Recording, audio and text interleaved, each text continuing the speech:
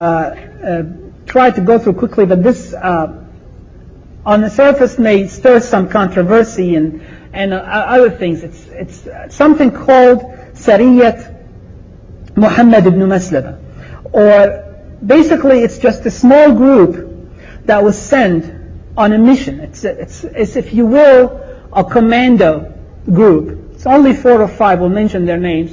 And they were sent on a mission from Rasulullah sallallahu alayhi wasallam to assassinate one of the Jewish leaders.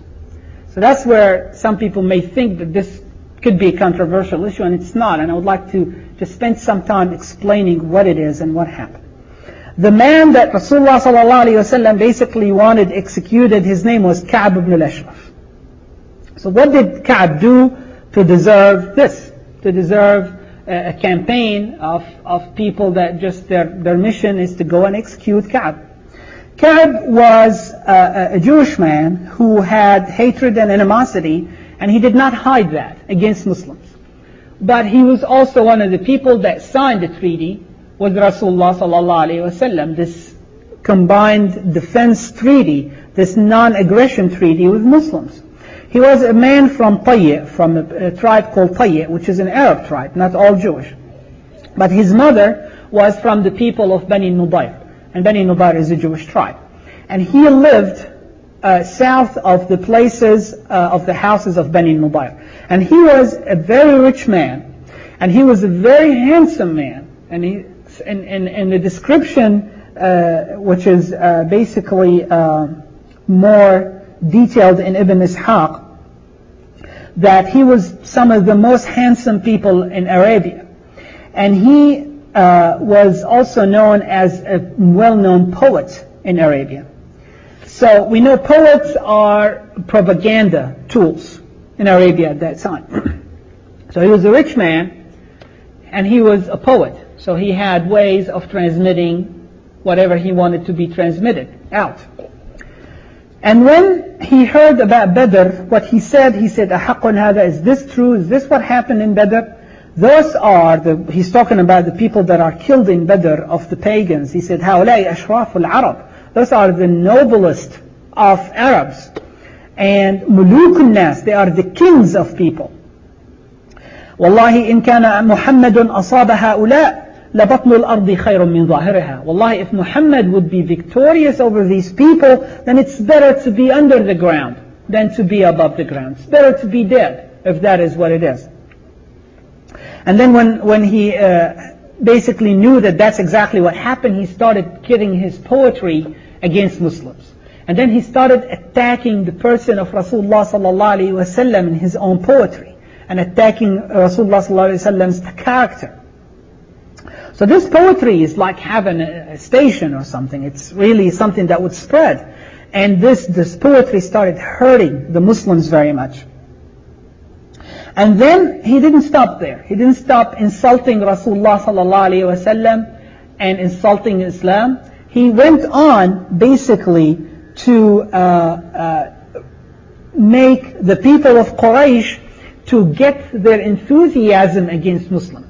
He continued his poetry to ask the people of Quraysh to retaliate, to ask the people of Quraysh to come and bring their armies and take revenge for whatever they lost in Badr.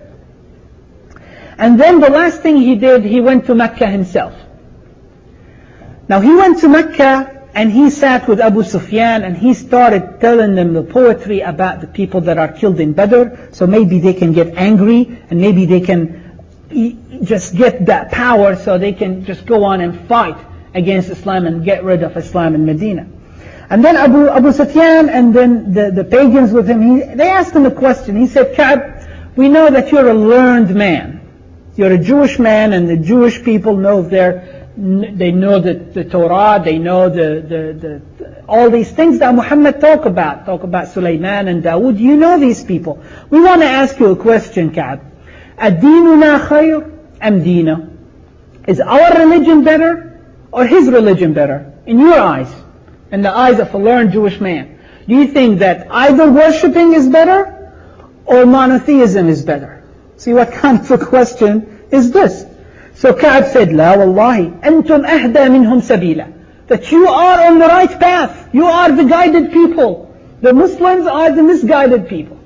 So Allah subhanahu wa ta'ala answers this. He says, Allah subhanahu wa ta'ala, chapter 4, verse 51.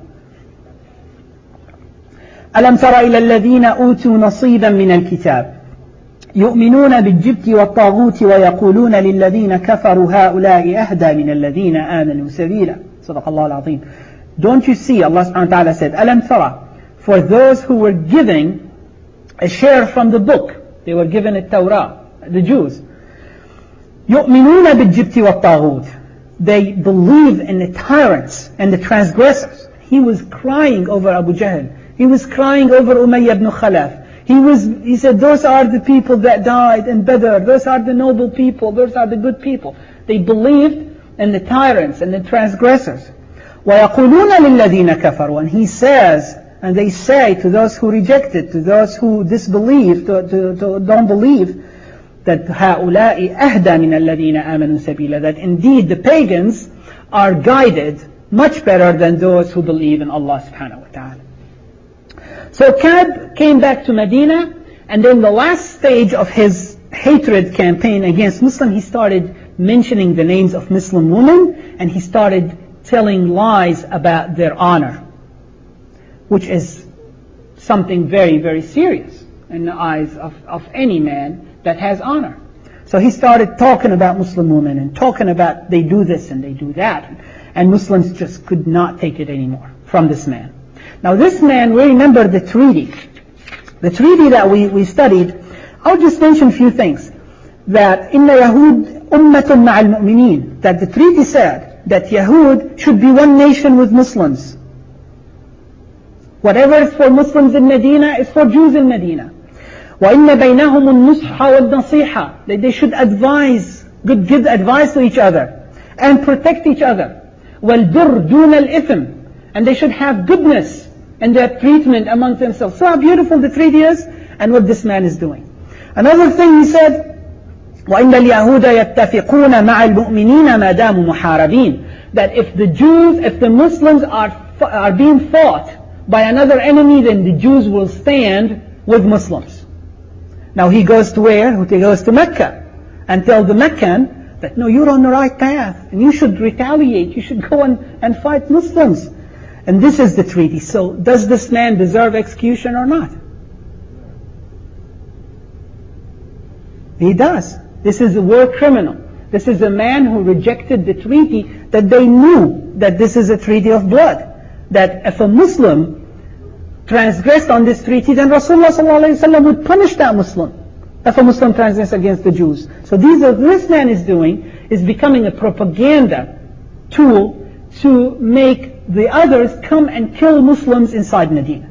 So Rasulullah had it, and the, the honors of Muslims were boiling with the poetry that he was given against their own women, their own sisters, their own daughters, their own wives.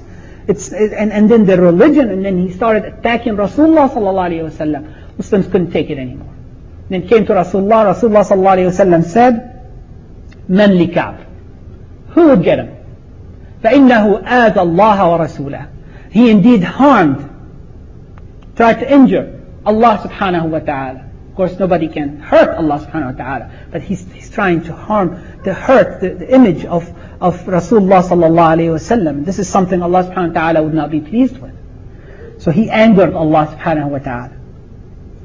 And then volunteers came out, those commando Muslims that wanted to come on this, on this mission. First one was Muhammad ibn Maslam.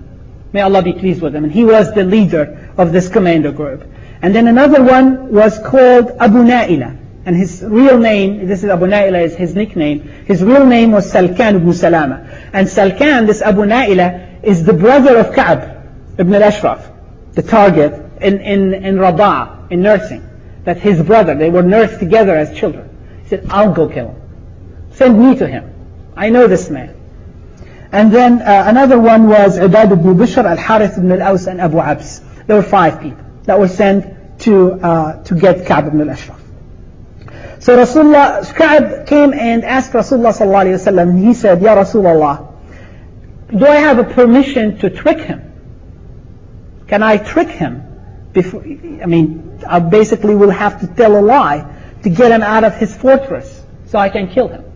There are only five of us, and he's a rich man with so many servants and so many.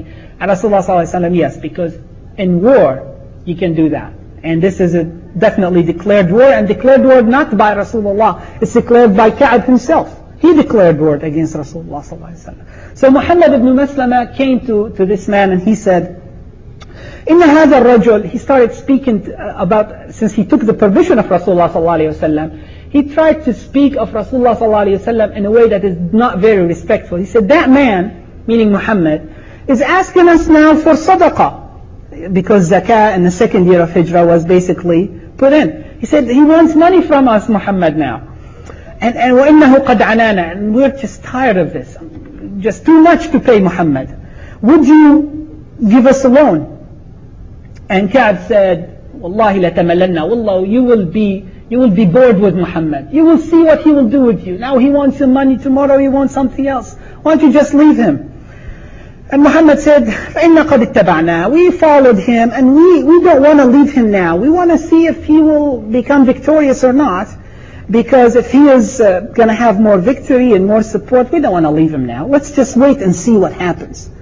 So Ka'b said, فَأَرْهِنُونِ Then give me something instead of the loan that I will give you. He said, well, وَمَاذَا نُرْهِنَكَ well, What would we give you for, for, what, the, for what you're going to give us? He said, نِسَاءَكُمْ Give me your women, and I'll give you money. Muhammad said, we give you our women, and you are the handsome, the handsomest of Arabs. I mean, what would you want, what do you want us to do? We cannot give you our women. He said, then give me your children. I'll take your children, and then when you bring the money, I'll give your children back.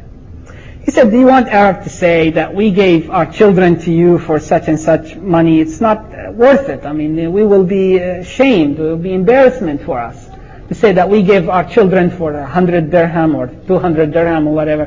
That doesn't work. He said, well, what do you want to give me? He said, we give you our weapons. We will bring weapons and give it to you.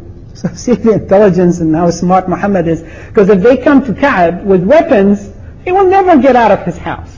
he said, you're coming to kill me. But if he thinks that they're coming to give him the weapons, then he would come out to, to face his fate. He said, then, but don't tell anybody that I came to you, Muhammad ibn Maslama, because I don't want people to know that I'm dealing with you and we know what's between you and Muhammad. He said, okay, I will not tell anybody. Abu Naila, his brother in nursery, in, in Rabah, and, and he came to him, he said the same thing that now I have to pay my zakah and, and I just need some money and I've spent all the money that I needed to spend and I need to, to get money from you. But don't tell anybody. And, and Ka'b said, okay, well, just do the same and, and uh, I'll give you the money. Give me the weapons. So on the 14th night of Rabi al-Awwal, full moon night, on the third year, this group of people came to Ka'b. And Rasulullah ﷺ walked with them from Medina until they reached Al-Baqi' And then he said, انطلقوا على اسم الله. Then you go on and, and you get this enemy of Allah subhanahu wa ta'ala. And then he prayed to Allah subhanahu wa ta'ala, Allahumma anhum, may Allah support them. And then he came back to his house and prayed for Allah subhanahu wa ta'ala and supplicated that Allah would help this small group to, to achieve this mission and get this enemy of Allah subhanahu wa ta'ala. So Ka'b uh, was in his house waiting for these people to bring him the weapons, the swords and whatever, so that he can give them the money. And his brother, Abu Na'ilah, cries out for him. He hollered and he said, Ka'b, come on and, and come to be with us. His wife, Ka'b's wife said, I hear death in his voice. He said, what death? He's my brother.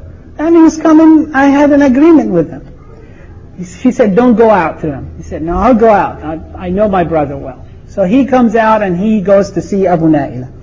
And then he saw Muhammad ibn Maslama and, and uh, Abu Na'ilah had an agreement with Muhammad and the other uh, four. He said, I will try to grab him so you can come and, and execute him. And I can't grab him. I have to tell him that I'm going to smell your hair because he always took care of his hair and took care of his appearance and the perfumes. And now I'd love to smell. So when I grab him and I give you the sign, you come and kill the man. So he saw Abu Na'ilah, he saw Muhammad, and he was still cautious and careful what to do with them. And he saw the weapons and they said, oh yeah, Ka'b, we want to just, it's a beautiful night. It's a full moon night. Why don't we take a walk? He said, fine, let's just take a walk and, and walk together. And Abu Nayla said, what is this perfume? Can I get closer to you and, and smell your perfume? And he said, fine. So he was close to his fortress. So he knows that they can't hurt him yet. So he gave him his head and he said, subhanAllah, what is this beautiful perfume? And this is great. So they walk a little bit further and every few steps Abu Naila would just say, can I smell more? Can I get some whiff of that perfume? Abu Naila, and then the Ka'bi would give him his head and then just smell that perfume. Perfume is a big thing for them. It's not used to do that. Then when they, after they walk for about an hour, then they're far away enough from the fortresses, from the, the arrow, the arrows of the guards. Then Abu Naila said, can I smell your head one more time? And he gave him his head and he grabs him. And that was the sign. And then after they grabbed him, they come and they execute this enemy of Allah subhanahu wa ta'ala. And he cries and all the fortresses get alerted, but it was too late and it was too far. And they brought the news to Rasulullah sallallahu alayhi wasallam. And Rasulullah sallallahu praised Allah subhanahu wa ta'ala. And there was one man that was actually wounded by, by the, by the, his friends. His name was Al-Harith. He was wounded by, when they were stabbing uh, Ka'b ibn Ashraf and in the darkness he was stabbed himself by mistake and Rasulullah sallallahu uh, put his saliva on his wound and it was a miracle that he was completely healed. And after the Jews heard the news of uh, Ka'b ibn al-Ashraf being executed, the, uh, they knew what Ka'b ibn al-Ashraf was doing to the Muslims and they knew every single uh, article of the treaty that he broke with the Muslims, so they did not call for retaliation, they did not call for revenge, and they submitted that he received what he was asking for. So there was no backlash from executing this criminal, this enemy, Ka'b ibn al-Ashraf. So we have to stop, and I apologize about taking too long, and inshallah we'll conclude by uh, dua. اللهم علمنا ما ينفعنا وانفعنا بما علمتنا وزدنا علما وفقها في الدين يا أرحم الراحمين اللهم teach us the story of the life of Rasulullah sallallahu alaihi wasallam and the sunnah of Rasulullah sallallahu alaihi wasallam and make him our role model in life and help us to follow his footsteps and to follow his way of life inshallah so would be pleased with us ameen اللهم صل على سيدنا محمد وعلى آله وصحبه أجمعين. سبحان ربك رب العزة عما يصفون وسلام على المرسلين والحمد لله رب العالمين.